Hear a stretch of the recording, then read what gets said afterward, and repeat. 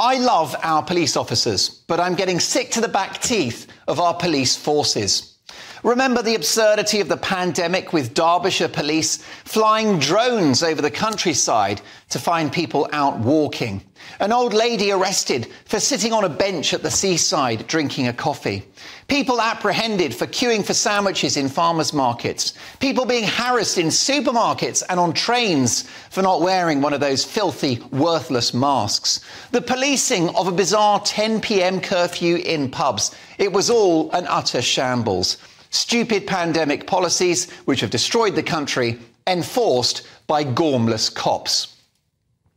What about the pathetic spectacle of police officers in Wakefield, West Yorkshire, sat there at a hastily assembled press conference where local clerics berated an autistic child for accidentally scuffing a copy of the Quran? The officers sat there nodding like the Churchill dog, lending credence to what was a ridiculous kangaroo court and the enforcement of a blasphemy law by the back door. What about cops asking Insulate Britain nut jobs whether they'd like a cup of tea or a sandwich after they'd glued their hands to the motorway? Or what about cops dancing on the streets with Extinction Rebellion protesters whose only real ambition is the extinction of the British economy and our way of life. These are the same police forces that have wasted thousands of pounds on those absurd rainbow painted cop cars and raided people's homes for hurty tweets and unkind Facebook posts.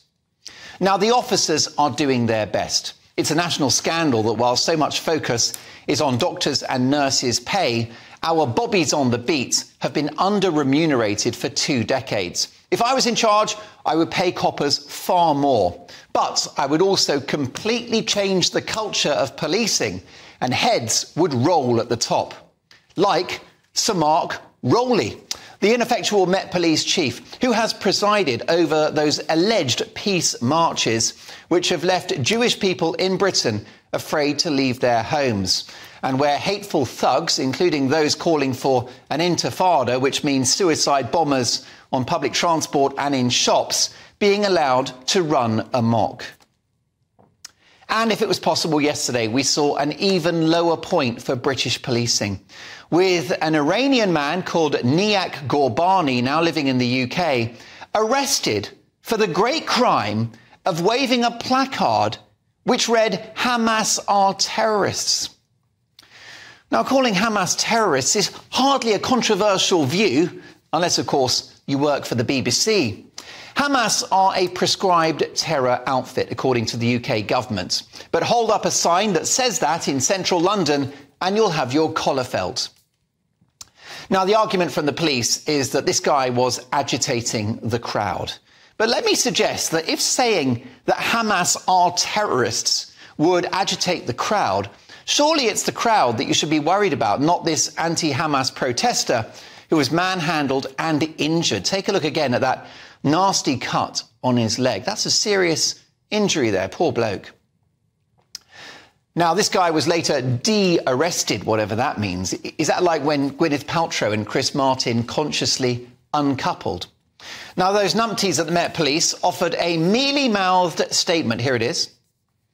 They said a video has been posted on X alleging officers arrested a man for having an anti Hamas placard. This is not accurate. He was arrested after an altercation was ongoing and officers intervened to prevent a breach of the peace. He was arrested for assault. But here we go. You ready for the U turn? Officers then fully reviewed footage provided of the incident and he was later de arrested. The arrest was not made in relation to the placard. Sorry, I don't buy it. Either way, extremism has been allowed to proliferate on Britain's streets in the name of peaceful protest. If Jews are afraid to leave their house, the protest is not peaceful. If MPs are afraid to vote a certain way in a House of Commons division for fear of violent reprisals, which is what Sir Keir Starmer reportedly told the Speaker of the House, the protests are not peaceful. If you can project the words from the river to the sea, which to anyone with half a brain clearly means the elimination of Israel, then these protests are not peaceful. In fact, they're so against the law that the police should be enforcing them, but they're not. And look what happened today. Take a look at this. Met police officers stop and harass a Jewish man for holding a For Israel against anti Semitism sign. Now, why is this guy being manhandled? And why is a message against anti Semitism upsetting those on the so called Peace March anyway? I'll allow you to make your own conclusions. Now, we have the best police women and men in the world, but the culture and leadership of our police forces is failing British law, failing British values, and failing British democracy. The Met Police were once branded as institutionally racist. Well, now they're institutionally useless.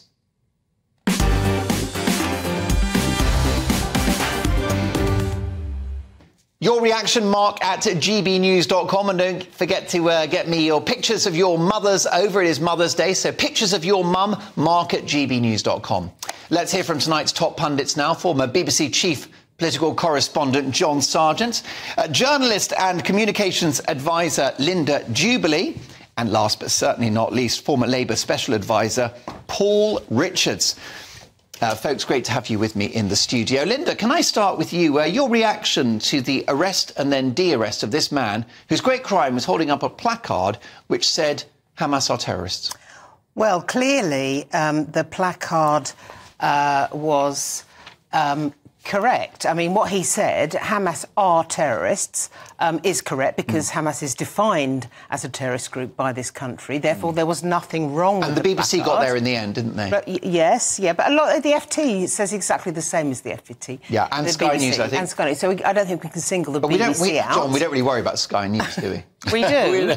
we, no, we worry about all these things, yeah. particularly on this programme where I don't we have quite the same audience as the BBC. Oh, well, hopefully not. A much but, smarter audience. But so, so the placard was okay, but clearly what mm. the police were worried about, because that's not the only thing, the, the, the, question about the placard was was it litigious? Was it, in fact, it's a written word, so was it libelous? It is not libelous, it is regarded as a correct statement, so yeah. that's not going to be a problem. The problem was was that guy likely to incite, incite racial hatred or violence? And that's why the police stopped him, they cuffed him, which means I assume that they then arrested him, mm-hmm. cautioned him, and took him away.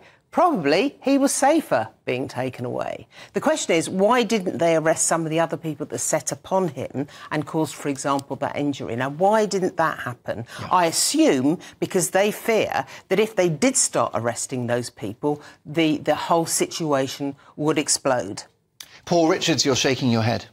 It reminds me of that scene in A Few Good Men where the, you know, the killer argument in the court was, well, why did you need to get Santiago off the base if he was safe? And why did that man have to be removed for his own safety if those people were not tacit or even overt supporters of Hamas? Mm. Mm. If you can hold the sign up and not be bothered by anybody, then that would be fine. But the idea that he was at some threat for making that a perfectly obvious claim, mm-hmm.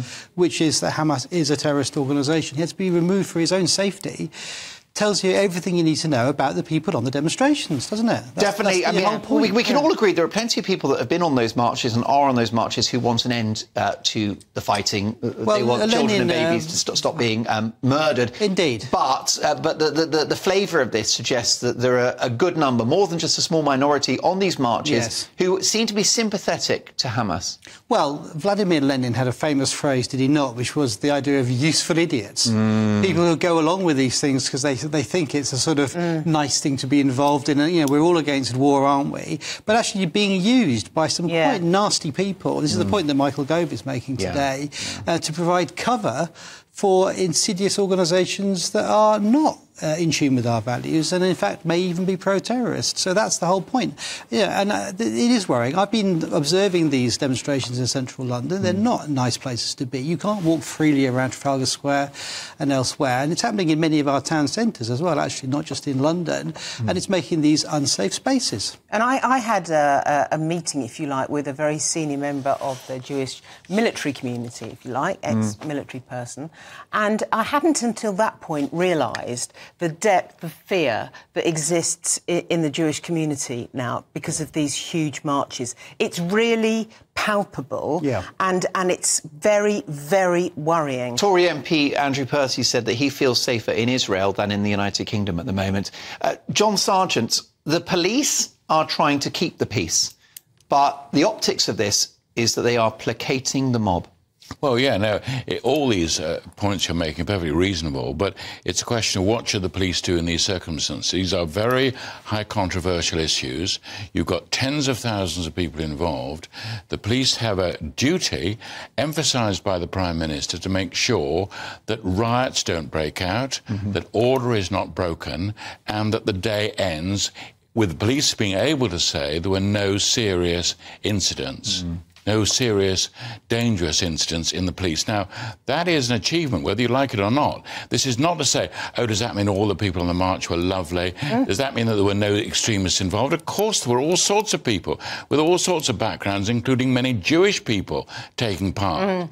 So the mistake is to imagine that the police, that the individual police constable, his job is to look to make sure is there a danger that this could turn into a riot. Not the whole thing, but in this particular area.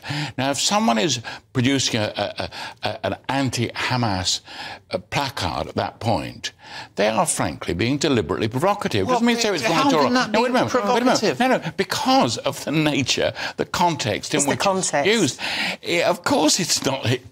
It's absolutely perfectly straightforward, mm. as you say, completely truthful, not illegal, all that kind of thing. Are you not worried about the people who are no. upset by the placard? What I'm, what, what I'm, worried about is the idea that the police constable or mm. the police generally are sitting there thinking, "Oh, we've got 10,000 people here taking part in demonstrations, mm. but I think we may have to arrest all of them." You yeah. don't do that. You are a policeman saying, in this context, what should I do to make sure that there isn't a riot? It's okay, They, wait a moment, and they then didn't charge the guy. He wasn't formally charged. They knew perfectly well they were taking him out of the situation. There was no question okay. of him then being arrested formally. Now, I also arrested. work very occasionally with a counter-terrorism expert, Metropolitan Police mm-hmm. counter-terrorism expert, who has said to me very recently he believes that we are due another incident quite soon. Mm. I mean, he means a major incident. Like a terror now, attack? Frankly... Does he mean a terror yeah, attack? He, he, does. Of course, mm. all security experts yeah, yeah. discuss this mm. kind of thing. Frankly, this is the fifth um, sure. protest, I think.